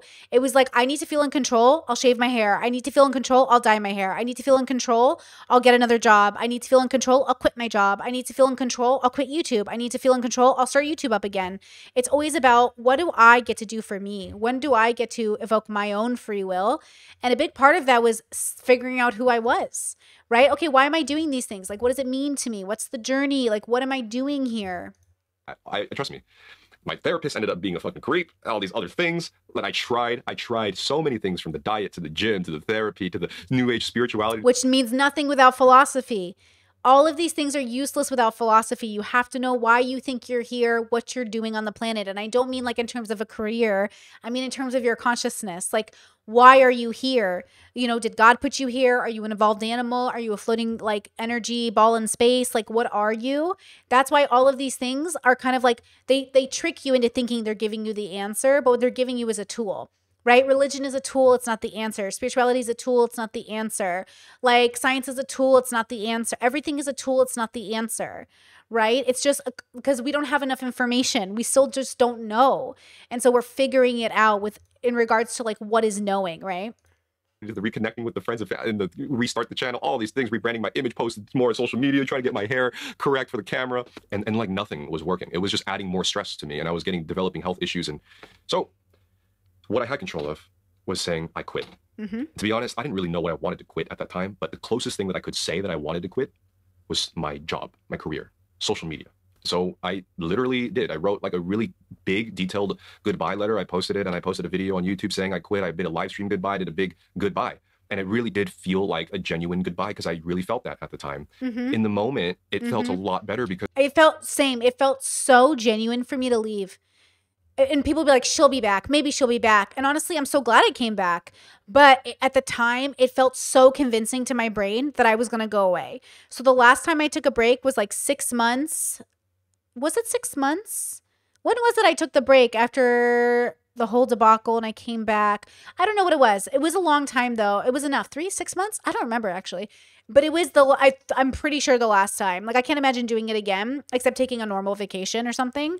But quitting, quitting YouTube, like taking all my videos down, like re like going away, away. I can't imagine I do that again. I'm so focused on this career. I'm so happy with who I am now. I'm just so glad I found myself. So it's much easier, you know what I mean, to keep the content going. But yeah, I was gone for a bit. Because it just felt like a huge weight was finally off my shoulders. So it felt good for mm-hmm. a brief period of time. It was like, oh my God, I can breathe again. Now I have a chance to like actually do whatever I want to do with not thinking about what content I need to make, with video, how I should present myself. Am I pretty enough for the camera? Am I talking correctly? Are people going to judge me that I don't know if on the other side of the world? Are they going to complain about how I'm behaving, how they're going to analyze my entire being and tear me apart? And it was so good to finally get a release from all of that. Now, I will also say around this time, I was finally able to reconnect with things that I actually liked. When people hmm. say like, oh, I had to reconnect with myself, you know, it's very vague online. No one ever actually de- like, explains in detail what that means. But in my case, I can say that what that meant was I got to genuinely re-explore. Let me tell you the problem with telling you exactly what it means to reconnect with yourself is it's not a mistake, but you might end up trying to live your life through me. I don't want you to do exactly what I did because it's not about me, it's about you. So if you're like, Brittany, what exactly did you do? It's only going to be helpful for you if you're able to really recognize like it what I did for me is not what you're going to do for you. You have to find your own path, your own way. You can't still cling to somebody else telling you exactly what to do unless you're like running a business or like learning to write code. Like live, learning who you are is about you. So I want to make sure that if you're like, Brittany, how did you do it? You remember that like me doing it isn't you doing it. And I need you to have a relationship with yourself. How are you going to have a relationship with yourself if you live Brittany's life? Because like our lives won't be the same. So even for my partner, he'll ask me like, what did you do? And I'm like, well, for me, this is what I did. But I don't want him to also live his life like he's me, right? My own interests again from magic tricks to Rubik's Cubes to spinning pens to yo yos to kendamas to skateboarding to video games. And as you're hearing that, you might be like, they're kind of cool. But when I was growing up, those were the most uncool things ever. Being on the internet was uncool as a kid, you know? So I left all of those things aside to be a less nerdier version of myself. And I did not do those things anymore in my time making this channel. Mm. I was able mm. to actually explore those things again. And it brought me this sense of joy and, and nostalgia that I just hadn't felt in so long since I was like eight, nine. I was so young when I started doing these things, and I just just teleported me back to those times of when I was actually free away from the nonsense and the controversy of life and what's happening in the world and all the stress and the pressures of being a human. It was just me and the playing cards. You know, me shuffling cards, me solving a cube, me watching Discovery science shows and all those things. And fast forward to towards the end of the year of me leaving social media, I had been so consumed by re-exploring all the things that made me happy as a kid to rewatching one of my favorite shows and movies as a kid from like Edward Scissorhands to Michael Jackson's Moonwalker to Bill Nye the Science Guy to, you know, exploring movies that cover such theatrical, extravagant characters in a fictional world. And I was like, this is what brings me meaning in life. The beyond of what humanity is, the beyond of wonder and fun and awe. And I just ignored anything that would give me that for like the last 10 years. I'm finally regaining my identity, I guess, for what was left slowly back. And eventually I got to this point where, you know what? This wonder and awe that I felt as a kid, I'm feeling actually now. And maybe I can actually make the very thing that I want to finally make in the way that I want to because I don't have anybody uh, like. I will say this too. There is some, like, I really refer to the youngest self. Like, if you can remember any part of your childhood that was about you for you, like, I had this um realization about my job how like I've always worked. I've always loved to work. Even as a little little girl, my one thing I like to do was work. When I was it was Saturday and my dad let me go to work with him, I was like the happiest little girl. And I realized like if you go to your happiest time as a child, even if you had a bad childhood, something that was for you, you can refer to that person when you're older, right? Like I know I'm always going to be working because even as a child, that's where I was the happiest. I never felt like I only felt like, oh my God, I had to work when I felt like a slave to my job, or I felt like I had lost that connection to myself of why I like working. And what I like is the creative part of work. My dad is an engineer, but he's so creative. Like he designs things and he's so creative. And my dad's an artist. He like plays music and builds things. And even though he's like engineering and numbers. He's an artist about his engineering. And that's where I think I get it from. Like, we're artists, even though we do, I do YouTube and he does engineering. Like, we're very similar. You know what I mean? Um, I'm so much like my dad. It's kind of great. But like, we are, we are so just invigorated by work because it's like our art. So it doesn't feel, but as long as we're doing the work we want, which is why my dad always said I would work for myself. He's like, Brittany, you're, you're going to work for yourself. Come on. And he's right. Like, I do work for myself. I'd rather work 70 hours a week working for myself, you know, than 50 hours a week working for somebody else making more. Like, I'd rather make less working for myself. And so it goes back to that childhood part of me that existed and it's not something somebody gave me. It's a dream I've always wanted for myself, and I was lucky to fulfill it. I'm lucky I fulfilled my dreams. I'm lucky I'm living my dream life and all that stuff, but I worked really hard to get here. And you have to go through that journey of saying, what do I actually want? And it's like, yeah, I think I want this thing, but why do you want it? I don't want it for money and fame. I want it because I like creating. And this allows me to create and share ideas. And that's what Pierre is talking about, I think, where he's saying, like, what did young Pierre want? The young Pierre that was like young and happy, like what what did he want? He wanted to engage in these like these hobbies, these behaviors, right? Even if you go back and look at my adult life, like I watch anime all the time. I watch anime as a kid all the time. It's like my favorite happy place. I love music. I listen to music. Like I I just recreated the best part of my childhood into my adulthood and healed as much of the trauma as I could and I deal with whatever I have to now to the until it's going to be healed off eventually. So for me, it was about like recreating the best parts of what I loved about life as a child and making it into adult life. And also working on all the things that kind of sort of, if you want to use the word corrupted, that childhood. Because there was so much about my childhood that was great. You know what I mean? It's just like it got messed up along the way because people were all on their own journey and we were clashing up against each other. So until I stopped the momentum of the clashing, like imagine you're all just like bouncing against the walls and then finally someone goes, and then walks in a different direction so you're not bumping up against anyone anymore that's that's what that's like right telling me what I should make anymore. There's no content algorithm pressure. I'll just do the thing that I really want to do. And that was I wanted to make this zany, you know, space pirate adventurer that basically travels through dimensions and fights dinosaurs and you know talks about how humans act and these funny behaviors that humans have. And that was the show that I would love to see as a kid. So in this like hyper manic inspiration, after a year of not making, I mean, two years of not making any content, I finally mustered up the courage to finally turn on that camera again. And it took two years for me to turn on the camera because when I turned on the camera before, it would just bring me this like post-traumatic reaction because it just brought me back to all the abuse that I would get online. Mm. So I finally got the courage to turn on the camera. I wonder if my video hit him at a very bad time. I wonder if he watched my video and it just made him feel really bad about himself. And it probably like contributed to this meltdown in a way. Like, right? If the timing is correct, I wonder if my video felt like another person telling him he was like sort of failing in a way. Um which I guess is kind of good because it moved him into here. Hello, you're welcome. But that's all of life, right?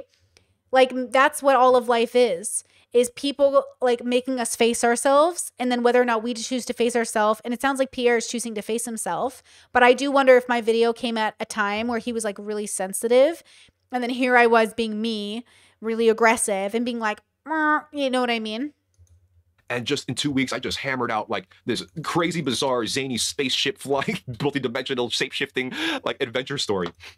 And I was so happy with like the product in the end because this was like a mix of all of the science fiction, fantasy, bizarro, cringy, corny, cheesy 80s practical effects stuff that I've always loved uh, growing up. And then I released it. And then reality hit. I don't know. I don't know what I was expecting, but like after being in literal space, since I was in space in the video, I was in literal space for like a year we're all in literal space actually now that I think about it. But the world kept moving on and doing its own thing while I'm having like a spiritual reconnection and reconnecting with aliens and all these like nerdy things like gaming and all these things that I don't ever talk about on this channel. And I come back after a year to a channel that was built on celebrity drama, gossip, the ultimate intimate interpersonal relationships, details about my personal life, um, socio-political warfare and drama. I came back to this channel yeah. and like gave them this this this alien transmission from where I've been, and I thought that people would immediately connect to this thing and be in open arms, and they didn't, because people here are expecting something else of what they've known of me before. I'm not gonna lie. I had a very severe breakdown. I was like, well, all this healing and all this self exploration for like the last uh, year, I think it's unraveling now because I. Interesting. Versus, okay, so this is the difference of the two versus the five. And I'm going to put it in my levels. Obviously, I don't know this person, so like I could be wrong. But when I came back to YouTube this last time, I came back knowing that I was someone different and that the internet would have to be then someone different and my audience would then have to be somebody different versus the times I came back before. I knew I was also changing, but it was weird to see people not connecting to it. But I will say, like, see, he went through the transformation, but it wasn't, it was like he's still in the moment, he's still in the journey, right? So when he came back and presented this thing and it impacted him that people didn't get it, he was still making it about other people. So when you're going through an introspection journey, you obviously have extrospection, which is everything outside of you, and you have to deal with that. So existing is Pierre, and then everything outside of him is existence, myself included. So you know what I mean? But he he was still looking for like that validation basically, and he didn't get it, and it was like it rocked him again. You have to get to the point where it doesn't rock you because you radically accept like this is your bubble and your belief system and it's valid in its own way but also it doesn't coincide with how i see reality or how we're mixing and matching. But it's really good of him to know this is really amazing and we'll we'll get there as the video progresses that he realized that he had built a certain channel that had an expectation of him. That's that's really good I am sobbing uncontrollably and screaming in my flat after releasing my the, the, passion project that I've ever had. I guess I felt a lot in me after making this whole thing and seeing the reception or lack of reception. And also, I owe it to myself to make this video, but more so, I also owe the people that have been watching me and actually like what I do and have been supporting me after all this time. I feel really bad because I felt like, or I feel like I've taken that side for granted and really only focused on mm. the negativity and the raptors and the haters on this channel, which inevitably made me want to quit and became really, really nasty and ooh, good point, really abrasive. That scared away the people that actually was there for me, and that even goes for people that I've known in real life. So see, I do now actively block. I will actively block like pure trolls and haters. Like, no offense, like this audience is too wholesome and too good and too like into self awareness and like growth to allow trolls to come in to ruin the vibe. I used to allow them in because I was like, well, it doesn't matter. It doesn't impact me. But I noticed it impacted my audience. I actually noticed that it impacted my audience and it did impact me in a way because I would like challenge those comments, but then it derailed the stream into negative energy. So actually, like, unless I'm challenging someone, like the other day, we had a pretty good challenger in the comment sections. Unless it makes my work more clear and helps the audience understand me better, I will just like mute you or like block you from my channel because it, it does a disservice to the community here and it really ruins the vibe. So I actually think this is an important lesson to learn because there is a lot in the haters watching you. But if you build an audience of haters, you'll make money, but you'll be miserable. I at least am so excited to read all my comments. Some of the comments blow my mind. They're so interesting. But if it's just hater comments after hater comments, it's just kind of like, what? Like, what is this? You know? So I just like block or mute hater comments. Not that I get many anymore, but when I'm dealing with certain communities, obviously it happens. Or if somebody talks about me, I'll notice I'll get an influx of hate comments. I'm like, who talked about me? I can tell somebody talked about me because I'll get random people on my channel um, but yeah, this is a really important like this is just as a YouTuber, this is very important. I feel like I owe this type of video or what I'm saying here to them, and I genuinely want to just say I really appreciate whoever was there. And in this time, I've really grown into more of who I am, and I'm just not that person of who I used to be. Whether it's nice. for the past nice transformation viewers and the fans here, hopefully, and the past raptors and haters here, I'm not that person, and I need to move on with who I actually am. So, Pierre, is this another I'm quitting video? hey, man, first of all, again, I think we're all just trying to figure out like how to navigate life. I'm not consciously deciding like I want to quit now to come back to quit now to come back. I, I don't know what I'm doing either most of the time. You know, I, I think people when they're working a job, how often are they like I quit? I'm sure a lot of people have done that. They're they're working so much, they get burnt out, and they say I quit, I, whatever. Or they're even at an awkward Christmas or Thanksgiving dinner, and they have their toxic family members just berating you all the time, thinking you should just take it and take it and take it, and you're like I quit. Then you leave. But next Christmas comes around, and next Thanksgiving comes around, and you might need to work another job, or you find another job that's better for you, and you come back. That's life, man. You know, we never know what's going to happen. We really don't. And it, we, I just think we need to be more graceful and patient with others and ourselves when we're all just trying to figure this out together, you know?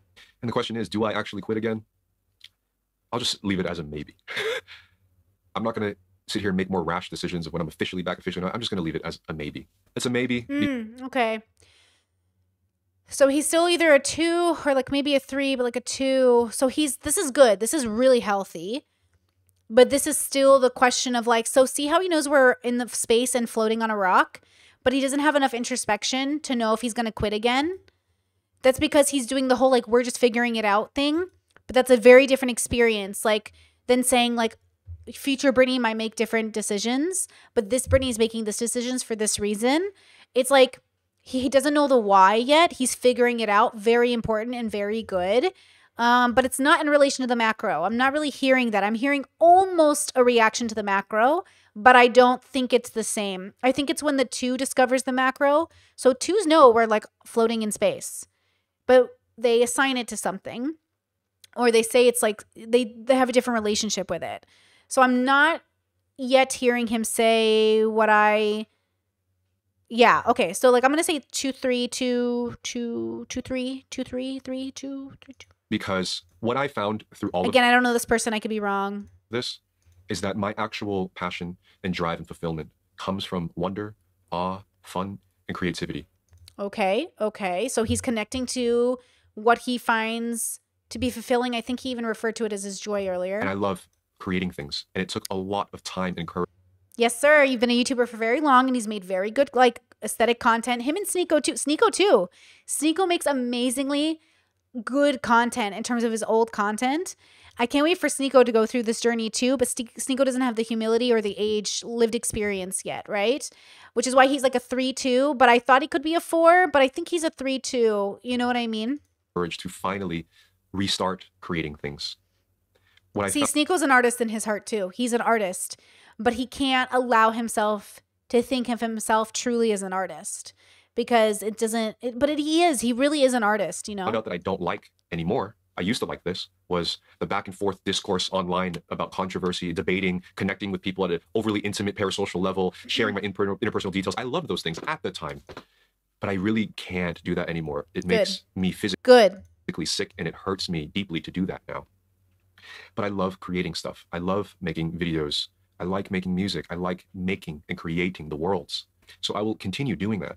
And what's interesting in the landscape of today's culture, especially with content, is that you either have one side of things, which is TikTok, re- Instagram reel, seven second content about some really silly thing that happened or some meme, right? Or you have what I see everywhere, which is just talking head videos, podcast clips of talking about serious subjects or like relationship advice or whatever. And when I saw that, I was wondering why I had complete creative stagnation. I, I literally had the worst creative block. And that was because at the time I was trying to figure out how to fit into the cultural landscape, a Mm. content landscape, and the algorithm of podcasting, record the camera, talk like exactly what I'm doing right now, talk about reality, talk about life, talk about introspection, like whatever, giving you advice about how to live your life. And Introspection. that really, really blocked my inner child and, and life. Mm. I love dressing up. I love exploring another realm that exists in our heads. I love twisting reality. I love the mystery of what we don't know. I love playing extravagant, annoying, flamboyant characters. That's that's what makes me happy. That makes my inner child just jump. So is he going back into the kid bubble or is he making his own imagination bubble? Is he interesting? Okay. And with the current content landscape of today, it's good for some people, and most people now prefer. I want real. I want somebody real. I, I want. I want you to just wear a potato sack. And there's no makeup. Your hair has to be completely flat. No flamboyance. No jewelry. Nothing. Just talk about this is how you live your life. Cold shower. Eat food. Work. Don't sleep. Die. You know. And what's the fun in that? Maybe we need to have more fun in our lives. More wonder. More awe. Hmm. And my inner child is screaming for these things now. He's he all he wants to do is play. He wants something to look forward to. He wants something to imagine. He wants a new world to jump in around and fight dinosaurs and go on spaceships and play with aliens. And that's exactly what he's going to do. Is- So it sounds like he's on the healing trauma journey. I wonder if he's gone to therapy. I wonder if like this is coming from a place of that. This sounds like healing inner trauma. This is like that journey, you know? Is he going to do it here? Probably not. He's going to do it in another dimension though. in this particular See, I don't know what that means. The realm of hyperspace, am I going to post? Am I going to come back? Maybe. But I just don't think it's appropriate to put that side here. But that creativity and that inner child needs to play. And I will find a place for him to play. fortunately or unfortunately, it's going to be a little more underground. Uh, I'm not going to be promoting anything here today. I might start a new channel, might not, and if I do, it's a secret.